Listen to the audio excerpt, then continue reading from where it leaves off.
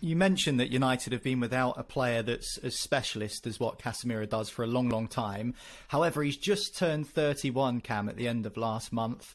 He's obviously fantastic and still got years left in the tank, but in terms of the longevity, is that a concern for you? Is he more of an intermediate solution for the time being? Will United need to dip back into the market and find someone else to replace him maybe in a couple of seasons? Well, this is it's an interesting one. If he keeps getting suspended at its current rate, I think he could go on playing until he's 40. But I think outside of that, um, I think in defensive midfield, you don't necessarily need to be the quickest player, the most mobile, the most physical, and those are probably the traits that decline quickest with age.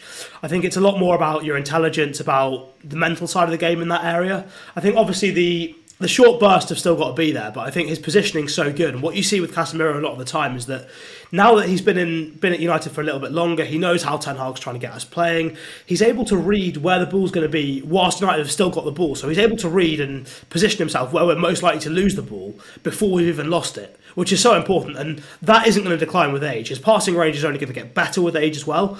So I think there's still probably another three to four years left in him. But then beyond that, I think it's like the responsibility now falls on United and the um, recruitment structure in place at the club to make sure that we do what City did with Fernandinho. They had City with Fernandinho had one of the best defensive midfielders the Premier League has ever seen. I'll die on this hill. He never got anywhere near the amount of credit he deserved. He didn't get the amount of appreciation that he should have had for being the player he was. But what City did was a couple of seasons before Fernandinho was ready to retire, they bring in Rodri so they can phase him in slowly, and it's a seamless transition when Rodri eventually takes over.